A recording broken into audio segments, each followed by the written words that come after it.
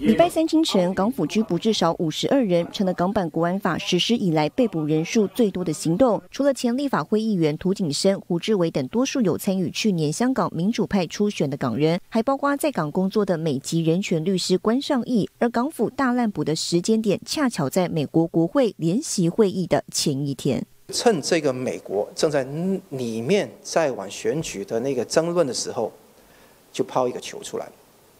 我用六个大字来形容这个事情，就是超级人质外交。在这个情况，是不是所有文明民主的国家都需要考虑清楚对中共要采取什么样的策略？这是每一个人都要想清楚。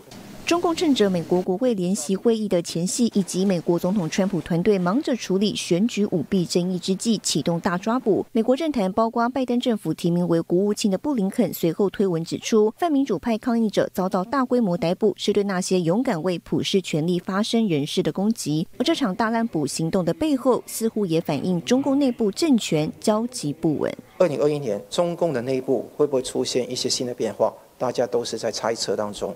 而且在香港本身，会不会说因为被压迫的非常厉害，而引起非常大的骚动，让中共来镇压？也是重点。中共是在最后末路的之前，在狂奔。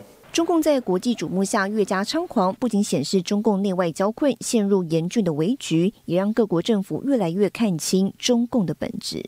新唐人亚太电视，时间李兆彤于台湾台北采访报道。